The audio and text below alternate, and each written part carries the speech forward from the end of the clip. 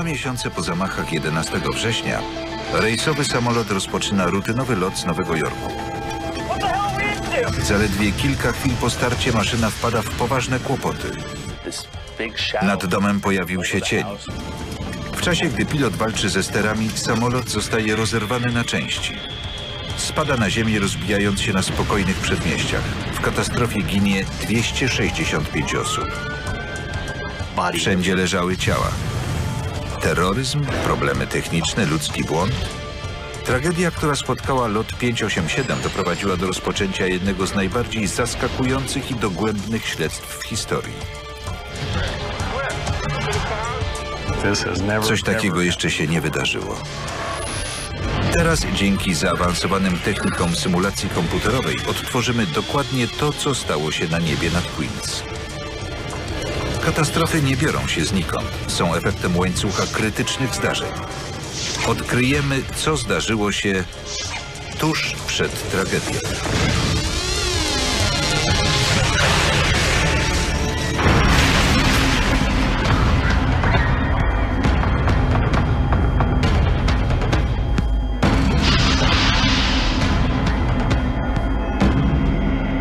Jedenastego września 2001 roku Ameryka pogrążyła się w żałobie.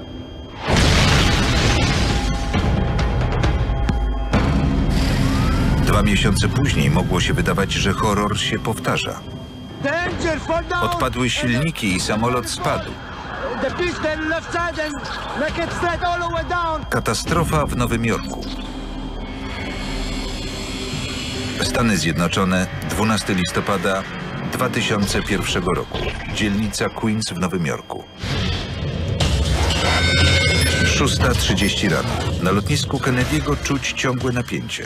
Okropności wydarzeń z 11 września są ciągle świeże. Dla całej branży lotniczej bezpieczeństwo jest teraz najważniejszym zagadnieniem. Załoga lotu 587 linii American Airlines przygotowuje się na płycie lotniska do 3,5 godzinnego lotu na Dominikanę. Kapitan Ed Stace i pierwszy oficer Stan Molin skrupulatnie sprawdzają samolot. Molin, którego ojciec także był pilotem, pracuje w firmie od 10 lat. Rozpoczął swoją karierę mając zaledwie 24 lata. Podobnie jak dla ojca, dla Stena była to więcej niż tylko praca. Gdyby nie został pilotem, nie wiem, co mógłby robić. Kochał tę pracę. Wśród 251 pasażerów lecących tego ranka na Dominikanę znajdowali się 83-letni Hipolito Algoroba i jego o 10 lat młodsza żona Ubensia. Starsi państwo zdecydowali się powrócić do ojczyzny, aby tam dożyć swoich dni.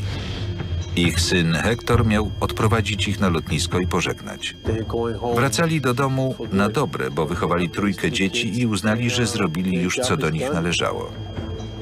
Para przybywa na lotnisko o wiele za wcześnie. Docierają tyle przed czasem, że linie proponują im miejsca we wcześniejszym rejsie. Gdy ich syn dociera na miejsce, jego rodzice są już po odprawie, ale matka wraca z sektora odlotów, aby pożegnać się z nim. Zapytałem o ojca. Odpowiedziała, że wszystko w porządku i że zobaczę go, gdy przyjadę do nich za kilka miesięcy. Pocałowałem ją jeszcze raz. O siódmej rano States i Molin rozpoczynają kontrolę podzespołów samolotu. Ich maszyna to Airbus A300 w wersji 605R. Przed 13 laty w Europie jest jednym z najstarszych we flocie American Airlines i ma za sobą ponad 37 tysięcy godzin lotu. Ale samoloty te uważane są za jedne z najbardziej niezawodnych. Dziś jednak niezawodność zeszła na drugi plan. Wszystko skupia się wokół nowych wymogów bezpieczeństwa. Każdy pasażer jest dwukrotnie przeszukiwany przed wejściem na pokład. Przed dziewiątą wszyscy są na pokładzie.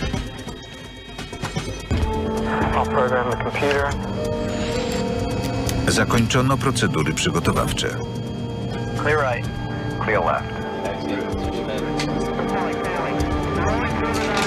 Lot 587 zaczyna kołować na pas 31L.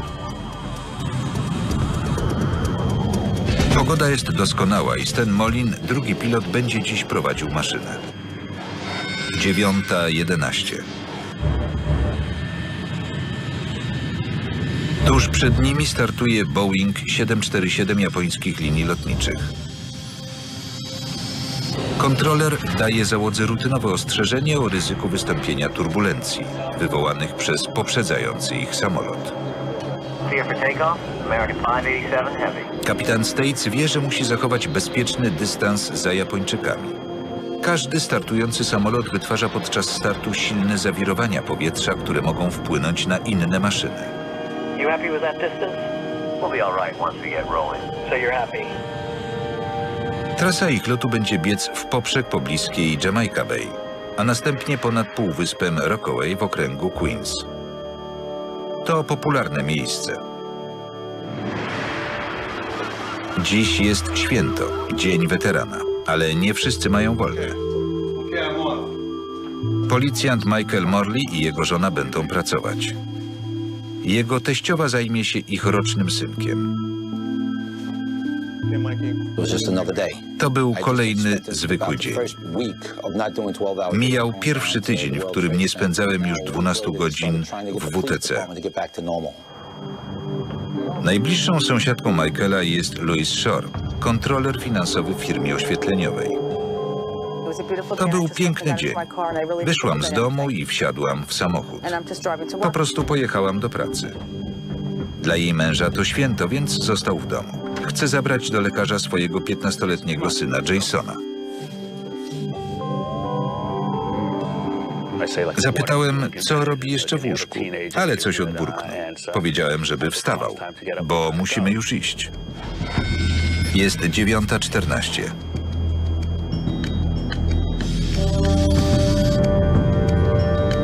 Rotate. Po 29 sekundach samolot odrywa się od pasa.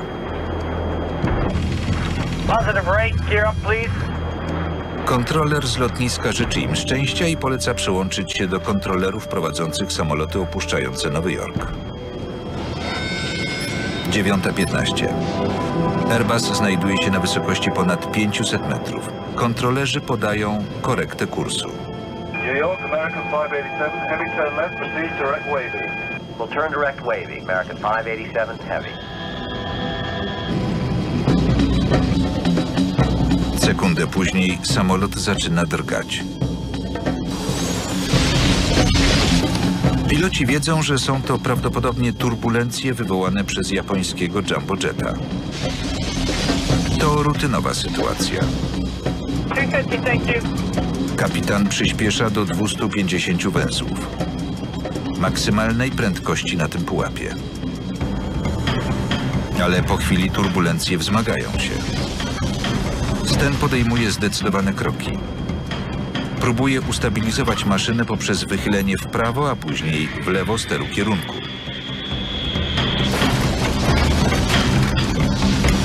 Power. Po raz kolejny prosi o pełną moc silników, aby utrzymać kontrolę nad samolotem. You all right?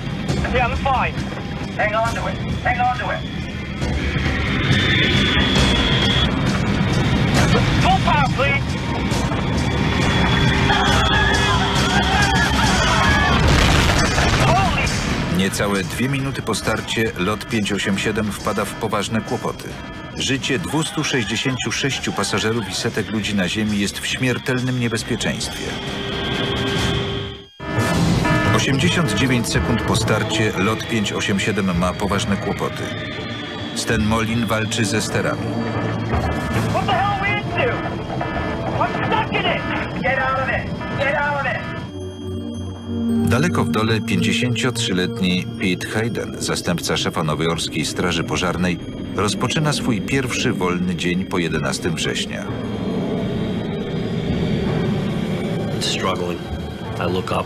Spojrzałem. Był niżej niż zwykle. Obserwowałem go, kiedy nagle zaczął się rozłamywać.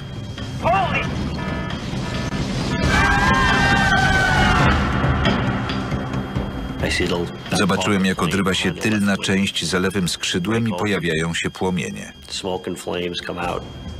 Gdy maszyna zaczyna bezładnie spadać, odpadają silniki.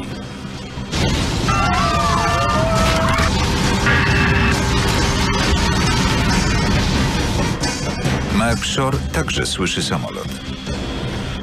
Pomyślałem, że brzmi jak Concorde. Wstawaj, musimy jechać do lekarza. Dom zaczyna się trząść.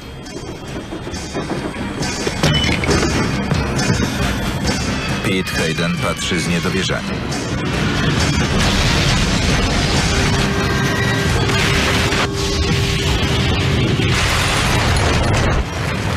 O 9.16 Airbus roztrzaskuje się o ziemię.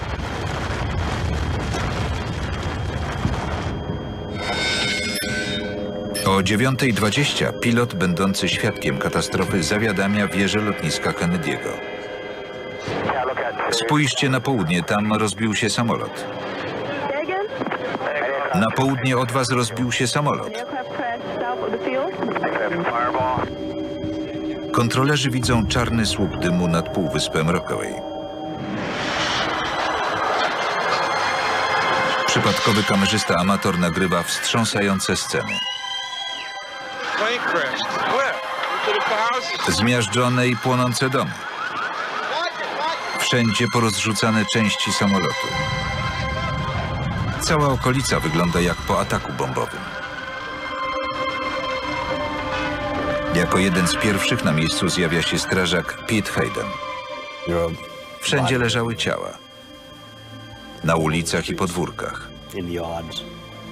Niektóre ciągle przypięte do foteli lotniczych. Seats of the airplane. Wszystko to wyglądało dla niego zbyt znajome. To powtórka z 11 września, tylko tym razem atak nastąpił w jego okolicy. Zastanawiałem się, ile osób, które znam, właśnie zginęło.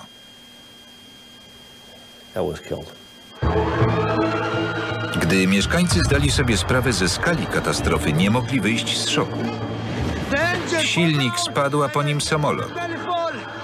Przechylił się w lewo i spadł. Służby ratunkowe z całego Nowego Jorku ruszyły do Rockaway. Razem z nimi inspektor Michael Morley, przerażony informacją, że samolot rozbił się w pobliżu jego domu. Wiedziałem, że syn i teściowa zostali w domu. Panikowałem jak każdy ojciec w takiej sytuacji, myśląc, Boże, co się stało z moją rodziną? Jego sąsiadka była w drodze do pracy, gdy odebrała mrożący krew w żyłach telefon od swojego męża. Krzyczał, że dom płonie. Nie wiedziałam, co robić. Próbowałam go przekrzyczeć, pytając, co z Jasonem i wtedy nas rozłączyło. Przerażona Lois zawraca do domu. Wiadomość o katastrofie obiega miasto. Roger, właśnie podano, że w Queens rozbił się samolot. Hector Algoroba je właśnie śniadanie w barze. Dopiero co pożegnał na lotnisku matkę i ojca. Nie jest pewny, który dokładnie lot złapali jego rodzice, ale oblewa go zimny pot.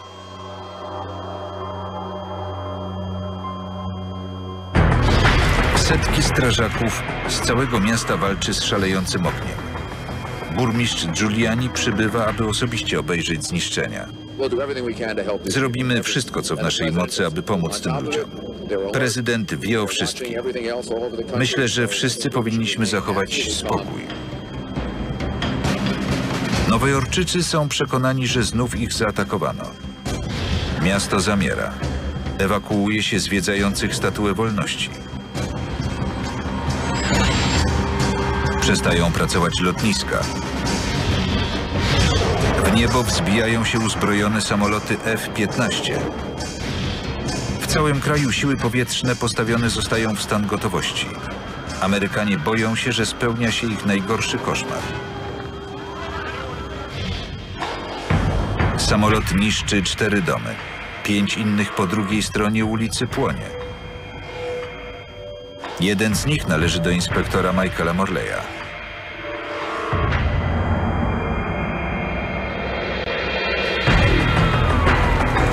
Gdy dociera na miejsce, jest przerażony.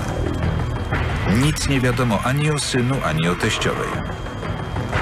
Przed domem spotyka czekających na niego kolegów policjantów.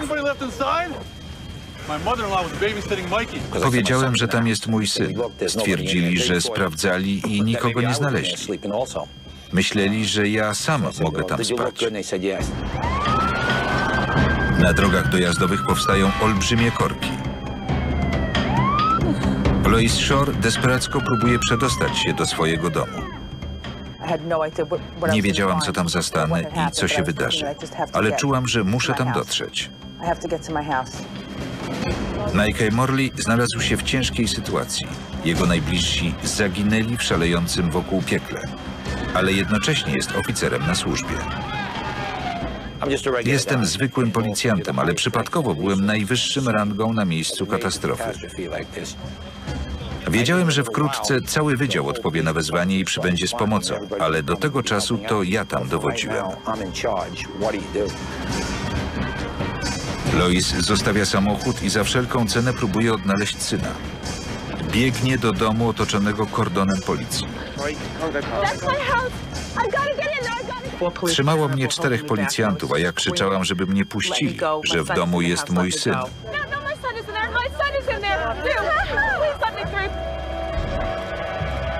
Michael Morley nadal nie wie, co stało się z jego rodziną. Gdy przybywają jego przełożeni, dowiadują się, że syn i teściowa Michaela zaginęli. Jeden z oficerów zapytał, co ja tu jeszcze robię. Odpowiedziałem, staram się pomóc szefie. Kazał mi iść szukać swojej rodziny. Na miejsce tragedii przybywa coraz więcej ludzi poszukujących informacji. Wśród nich Hector Algaroba. Sądzi, że jego rodzice byli w tym samolocie, ale modli się o cud. Miałem nadzieję, że ten dym i ogień to efekt uderzenia samolotu próbującego wylądować i że wielu pasażerów ocalało. Próbowałem złapać się jakiejkolwiek nadziei, bo nadzieja jest ostatnią rzeczą, jaką człowiek traci.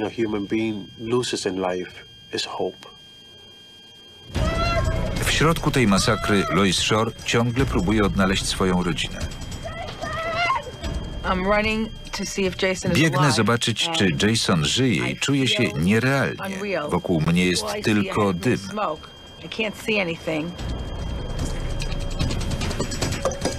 Michael Morley biega od domu do domu, ciągle mając nadzieję, że jego ukochani znaleźli schronienie u sąsiadów.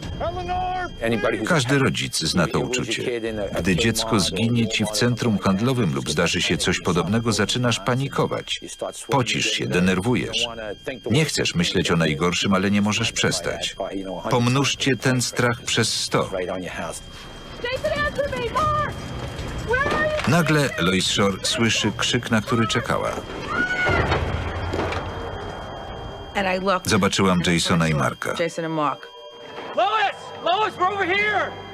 Poczułam, że są wszystkim, na czym mi zależy w życiu i nic innego nie ma dla mnie znaczenia. Jason. I jego ojciec byli cali i zdrowi. Wydostali się z domu w ostatniej chwili.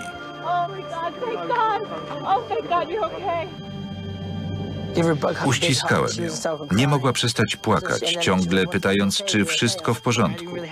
Nie czułem żadnych emocji, po prostu cieszyłem się, że jesteśmy razem. Nieopodal Michael Morley ciągle gorączkowo szukał bliskich.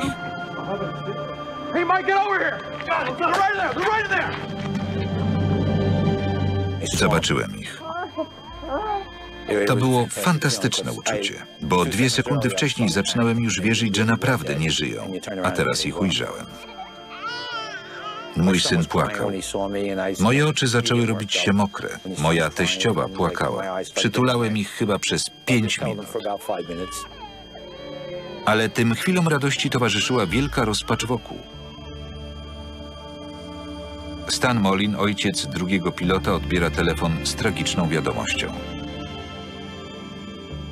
Zanim zadzwoni telefon, ciągle ma się nadzieję, że może to inny samolot. Ale potem już wiesz, że to właśnie ta chwila. Moment.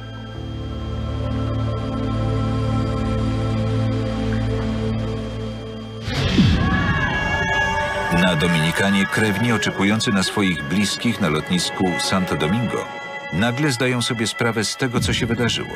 Ich ukochani nie żyją. Hektor nie może odejść, dopóki nie dowie się, co stało się z jego rodzicami.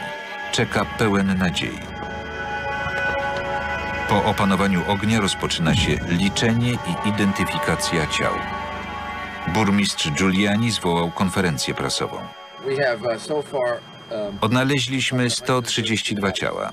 Według listy na pokładzie było 255 pasażerów i członków załogi. Chciałbym jeszcze raz wyrazić moje współczucie i złożyć wszystkim kondolencje. uh, I want to again express my sympathy and condolences to everyone involved. Po tym wystąpieniu Giuliani spotkał się z pogrążonymi w smutku rodzinami i osobiście przekazał Hektorowi smutne wieści. Podszedł i objął mnie, składając kondolencje i potwierdzając, że moi rodzice byli w samolocie.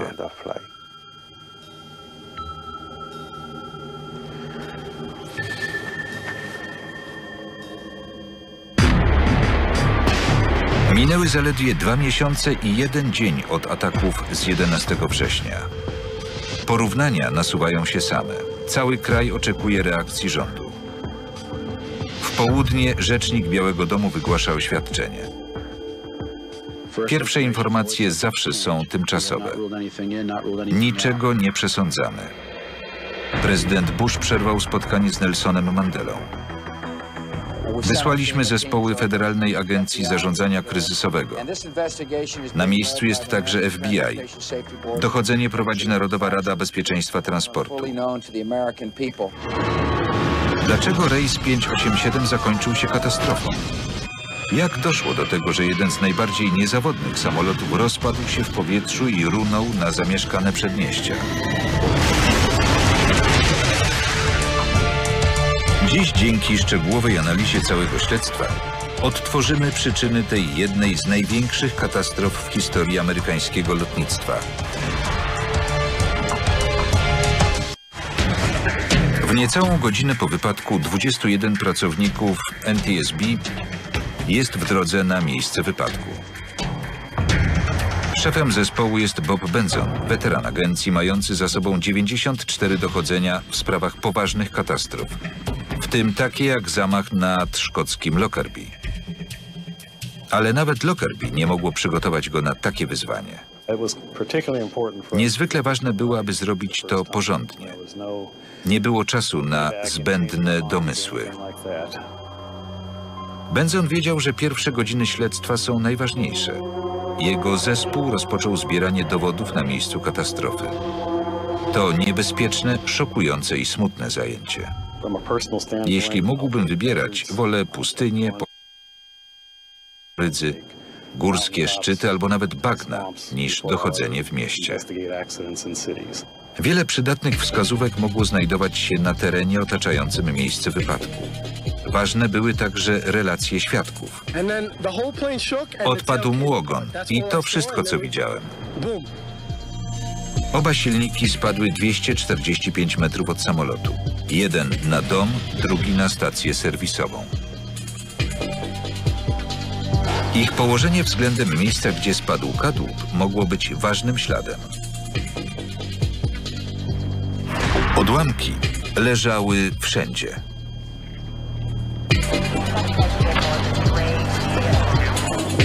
Łodzie policyjne i wojskowe zbierały szczątki pływające w pobliskiej zatoce.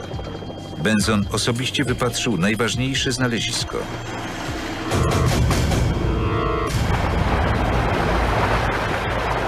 Dźwig wydobywa z wody statecznik pionowy samolotu. To nas zastanowiło.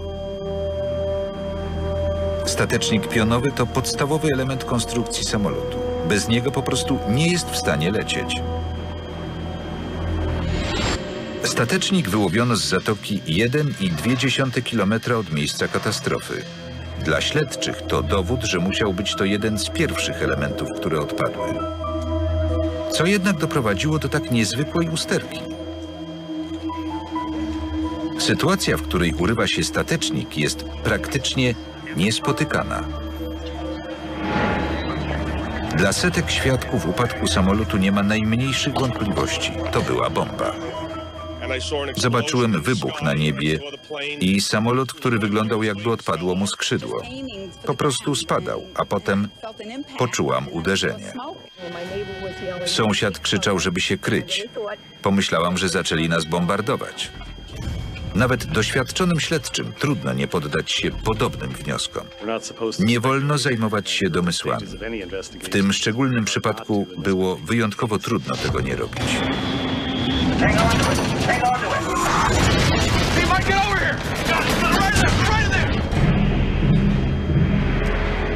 Po tej katastrofie eksperci sądowi z FBI poszukują dowodu na hipotezę o bombie. Liczą także na odnalezienie dwóch kluczowych dowodów czarnych skrzynek. Rejestrator rozmów powinien zapisać wszystko, co zostało wypowiedziane w kabinie pilotów. Rejestrator parametrów zachowuje wszelkie dane dotyczące funkcjonowania podzespołów maszyny. Każda ze skrzynek mogła pozwolić rozwiązać zagadkę katastrofy, ale Bob Benson wiedział, że odnalezienie którejkolwiek może trwać kilka dni. Może też okazać się, że będzie ona poważnie uszkodzona. Ale zaledwie po kilku godzinach poszukiwaczom dopisało szczęście. Rzeczniczka NTSB ogłosiła, Odnaleźliśmy rejestrator rozmów z kabiny pilotów. Wokół szaleje wrzawa spekulacji na temat wypadku. Najczęściej wspomina się terroryzm. Ale Bena Benzona i jego kolegów martwi brak dowodu potwierdzającego tę teorię. Nic podejrzanego nie zaszło na lotnisku. Żadne ugrupowanie nie przyznało się do zamachu. Ogłaszają, że nawet na tak wczesnym etapie śledztwa są zdania, iż nie było to zamierzone działanie. To sprawa dla Narodowej Rady Bezpieczeństwa Transportu. Według posiadanych przez nas informacji był to wypadek. Plan odnosi odwrotny skutek. Podejrzliwi nowojorczycy sądzą, że chce się odwrócić ich uwagę. Jeśli natrafimy na jakikolwiek ślad działań kryminalnych, natychmiast przekażemy te informacje do wiadomości publicznej.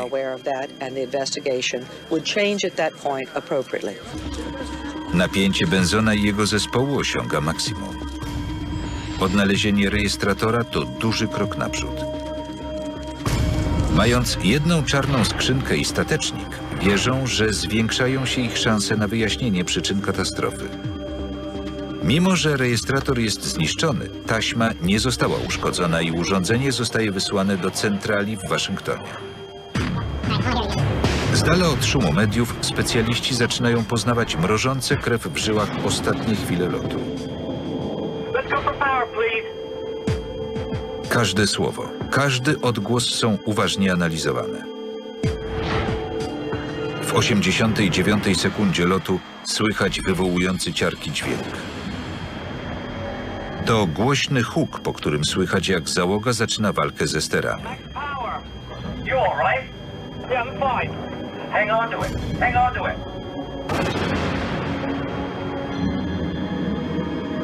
Czy to dźwięk eksplozji? Być może jednak była to bomba. Ale Benson wie, że bez drugiej czarnej skrzynki poznanie prawdy będzie trudne. Bez niej odtworzenie całej historii jest trudne i opiera się bardziej na spekulacjach. Przez dwa dni trwają poszukiwania.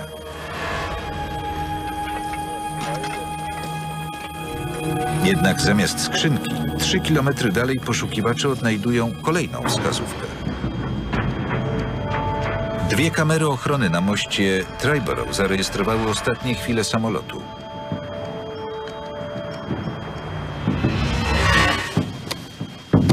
Te kasety mogą być kluczem do zagadki. Na ziarnistym obrazie Airbus widoczny jest jako mała, czarna plamka. Na taśmie z pierwszej kamery kropka znika za budynkiem. Potem pojawia się na obrazie z drugiej kamery. Widać na nim prawdopodobnie krytyczny moment. Niewyraźna biała smuga, ledwie widoczna, ciągnie się za samolotem. Czy jest to wybuch? Czy to przyczyna huku, po którym piloci utracili panowanie? Na pewno może być to silny dowód na to, że jednak była to bomba. Jedyny sposób, aby to potwierdzić, to porównać czasy. Jeśli biała smuga pojawiła się w tej samej chwili, w której zarejestrował się dźwięk, może to być to samo zdarzenie. Śledczy odwiedzają posterunek ochrony, gdzie znajdują się kamery. Używając budynków jako punktów orientacyjnych ustalają dokładnie gdzie i kiedy pojawiła się smuga. Rezultaty powodują, że trzeba wrócić do teorii wykluczającej bombę. Smuga pojawia się 8 sekund po zdarzeniach, które zainicjowały wypadek.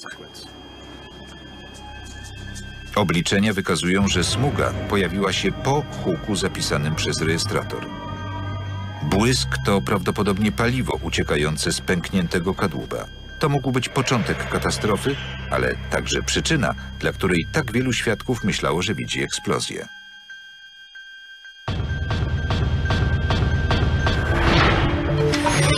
Na miejscu upadku samolotu następuje dramatyczne odkrycie. Poszukiwacze odnaleźli drugi rejestrator.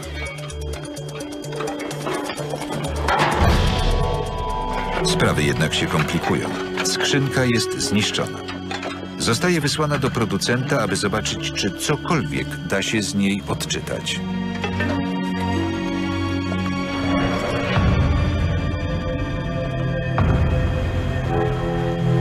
Odnaleziony w wodach zatoki statecznik zaczyna także dostarczać istotnych tropów. Pierwsza rzecz to fakt, że zbudowano go z supernowoczesnych kompozytów węglowych. Używane często w budowie samochodów wyścigowych i innym sprzęcie sportowym, powstają z warstw włókna węglowego łączonych żywicami.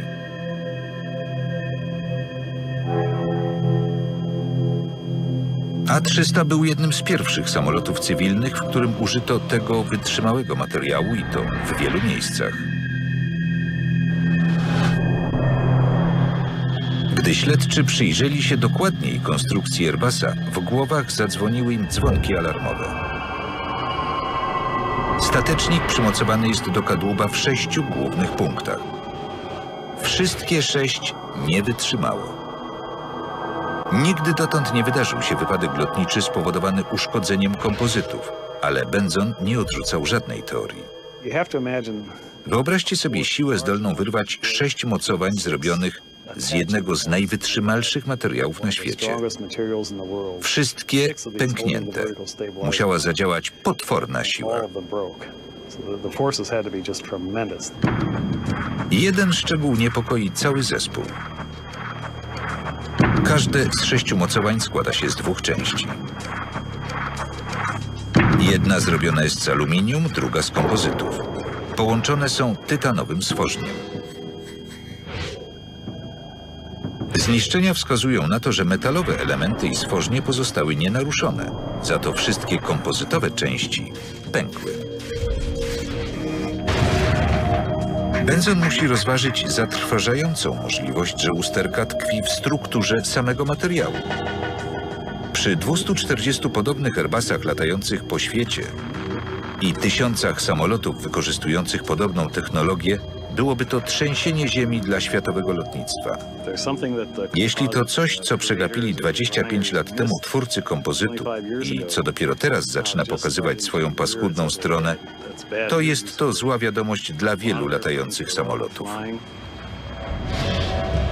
Wykazanie, że winne są włókna węglowe wymaga mocnych dowodów.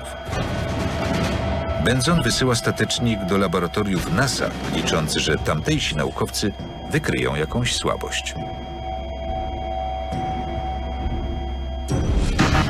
Eksperci badają ponad 3000 cm2 powierzchni, powiększając materiał 5000 razy w poszukiwaniu jakichkolwiek wad.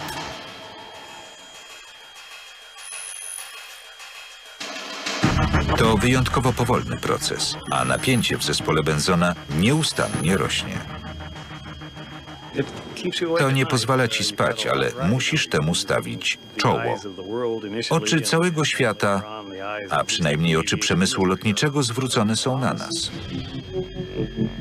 Napięcie rośnie także w siedzibie Airbusa.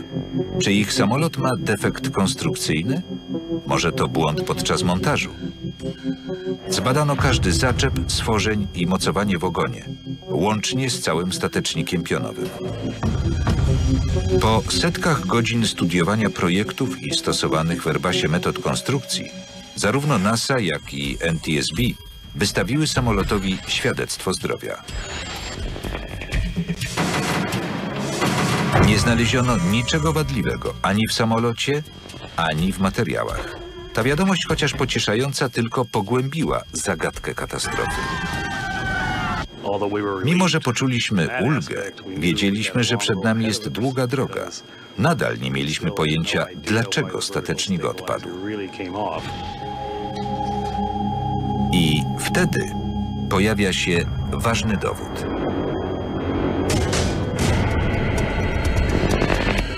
Udaje się odczytać dane ze zniszczonego rejestratora lotu. Poczułem wielką ulgę. Ale informacje zaskakują wszystkich. Całe dochodzenie skupiające się dotąd na maszynie zostaje nagle skierowane na prowadzącego ją człowieka, drugiego pilota, Stena Molina. 83 sekundy po starcie rejestrator zapisał pięć gwałtownych ruchów sterem kierunku, które wykonał Molin. W ich wyniku samolot zakołysał się mocno w obie strony.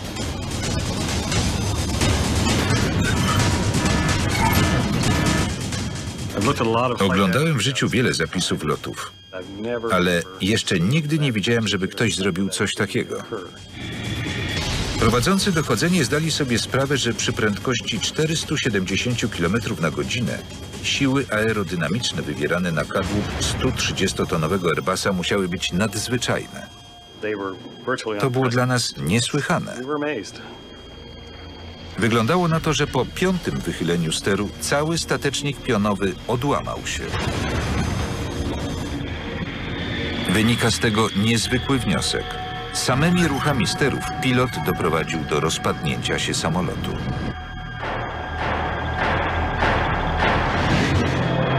Rada Bezpieczeństwa Transportu jest tak zaniepokojona, że podejmuje natychmiastowe działania. W lutym 2002 roku publikuje specjalne ostrzeżenie dla wszystkich pilotów. Ale trzeba jeszcze udowodnić, że statecznik odpadł tylko i wyłącznie z powodu działających na niego sił aerodynamicznych. Jedyny sposób, aby to sprawdzić, to przeprowadzić skomplikowaną symulację komputerową. Jeśli ta teoria się sprawdzi, koncepcja zamachu jako przyczyny katastrofy będzie mogła być ostatecznie odrzucona. Będąc staje teraz przed nową zagadką. Dlaczego pilot zachował się w ten sposób? Prowadzący dochodzenie wierzą, że są bliscy odkrycia przyczyn końca lotu 587. Zapis rejestratora lotu wykazał, że Sten Molin, drugi pilot, nacisnął gwałtownie pięć razy na pedały steru kierunku, co mogło doprowadzić do przeciążenia konstrukcji statecznika pionowego i jego oderwania się od kadłuba. Pozostaje pytanie, dlaczego to zrobił. Przesłuchiwane są ponownie nagrania z rejestratora rozmów.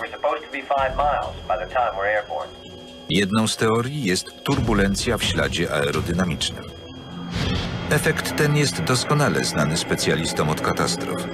To strefa zawirowanego powietrza pozostająca za przelatującym samolotem. Wiry te potrafią wywrócić do góry nogami inną maszynę, która znajdzie się za blisko. Ale członkowie zespołu szybko zdają sobie sprawę, że to nie może być przyczyną wypadku. Turbulencja była za słaba, aby zaszkodzić samolotowi wielkości Airbusa. Im większy samolot, tym mniejszy wpływ mają na niego turbulencje, a 300 to całkiem spora maszyna. Następny dowód zmienia wszystko. Członkowie zespołu rozmawiają z ludźmi znającymi Molina i odkrywają ważną informację –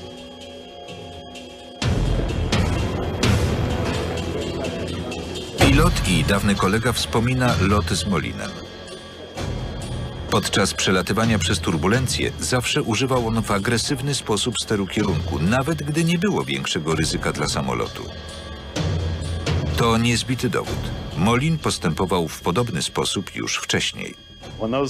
Gdy kolejni piloci opowiadali nam o skłonności pierwszego oficera do nadużywania sterów, była to dla nas chwila olśnienia. Ale to nie był koniec rewelacji. Zapytany kiedyś, dlaczego tak robi, Molin miał stwierdzić, że nauczono go używać w ten sposób sterów American Airlines. Jeśli to prawda, to rodzi ona poważne obawy w głowach członków zespołu. Można założyć, że jeśli wielu pilotów przeszło takie samo błędne szkolenie, to znaczy, że wielu z nich ma złe wyobrażenie o tym, jak latać samolotem.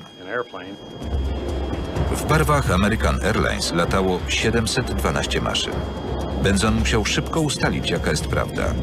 Linie przyznają, że w jednym z programów treningowych uczono pilotów, aby używać steru do ratowania się z nietypowych sytuacji. Jeśli nie użyjecie steru, gdy znajdziecie się w tej fazie obrotu, zaczniecie spadać. Następnie Benzon sprawdza inne narzędzia używane do szkolenia pilotów. Piloci uczą się na symulatorach reagować na zagrożenia, między innymi na turbulencje. W jednym ze scenariuszy treningowych Benzon odkrywa zalecenia, aby agresywnie korzystać ze steru. Oprogramowanie symulatora zostało zmienione tak, aby zachęcać pilotów do korzystania z tej metody, szczególnie podczas przechyłów maszyny na boki. Airbus sam zwrócił się do linii lotniczych, sugerując, że praktyka ta jest niepokojąca. Na wykładach mówiono pilotom, że dopuszczalne jest używanie steru do ratowania się z różnych sytuacji, ale co ważniejsze, uczono ich używać steru w sposób bardzo agresywny, by wydobyć się z różnych opałów.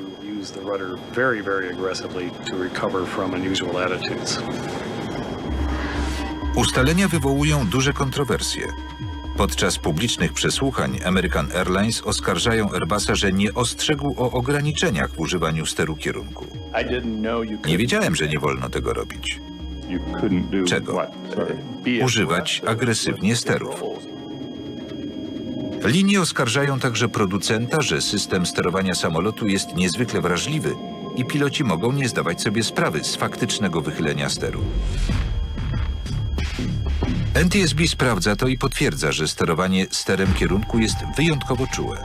Co więcej, czułość ta zwiększa się wraz ze wzrostem prędkości. Na ziemi pedał musi być wciśnięty na 10 cm, aby uzyskać maksymalne wychylenie steru. Ale podczas lotu z dużą prędkością wystarczą do tego 4 cm.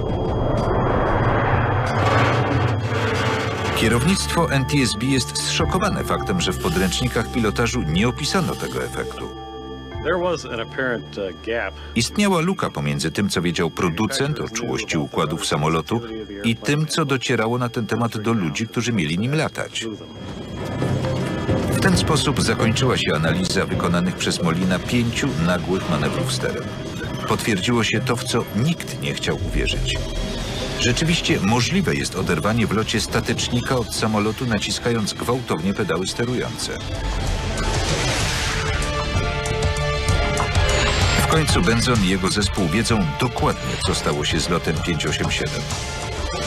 Odkryli wydarzenie, które doprowadziło do tragedii. Pięć minut przed wypadkiem Airbus czeka na swoją kolej do startu. Przed nim podrywa się japoński Boeing 747. 30 sekund później załoga lotu 587 dostaje ostrzeżenie o turbulencjach. Dwie minuty do katastrofy. Samolot odrywa się od ziemi. Positive right, gear up, please.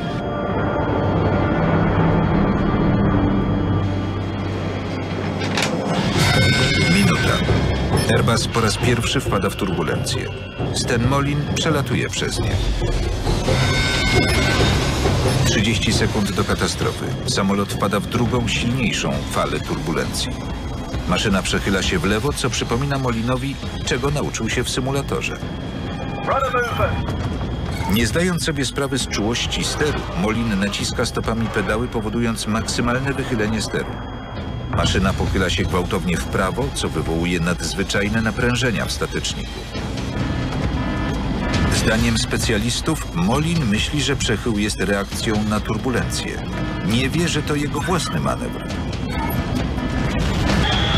Natychmiast wciska drugi pedał. Samolot szybko przechyla się w lewo, ponownie obciążając ogon.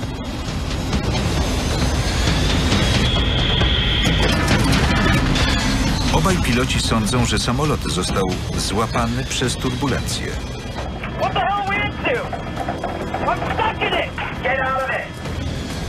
W desperackiej próbie odzyskania kontroli Molin jeszcze raz naciska, tym razem prawy pedał. Całkowicie zdezorientowany, po chwili naciska go znowu. Lot 587 jest o krok od tragedii.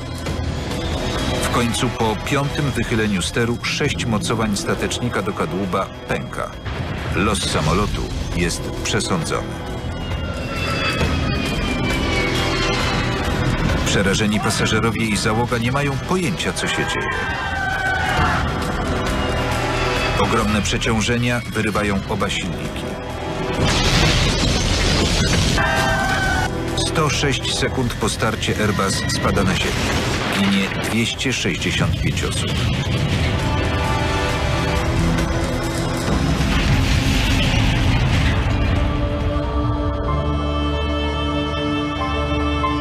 Tragedia staje się ważną lekcją.